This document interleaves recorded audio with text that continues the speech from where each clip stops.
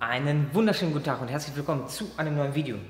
Heute möchten wir einmal bei diesem schicken Audi Q3, so das ist Audi Q3 Baujahr 2011, 155 kW, der 2 Liter.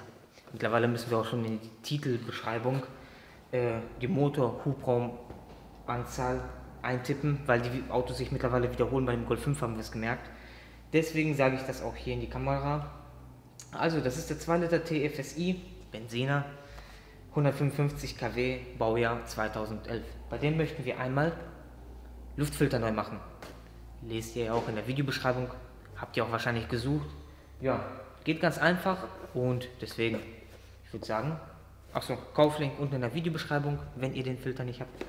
Und ich würde sagen, los geht's. So, einmal Motorhaube auf. Dann sehen wir das Ganze hier. Den schönen 2 Liter. Luftfilter befindet sich hier, hier drunter. Ja, geht ganz einfach. Schrauben wir mal ab und los geht's. Ja, wir benötigen einen 25er Torx. Hier die ganzen Schrauben einmal abschrauben.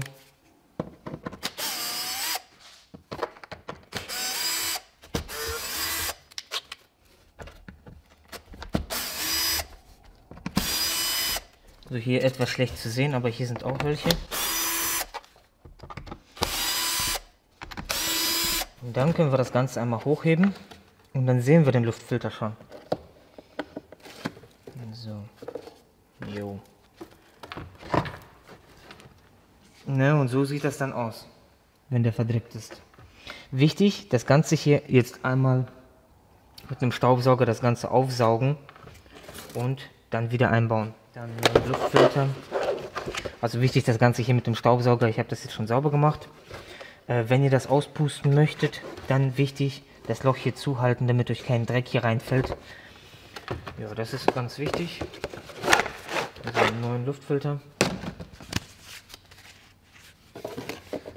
Rein damit. So.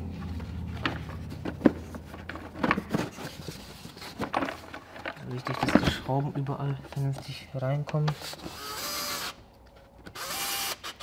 Wichtig, wenn ihr das Ganze festschraubt, am besten mit Hand das Ganze festschrauben oder halt hier auf die erste Stufe machen oder auf zweite, dritte Stufe mit dem Akkuschrauber, weil ihr schraubt hier einen Kunststoff rein und dann kann man sich das Ganze kaputt machen. Deswegen schön mit Gefühl das Ganze.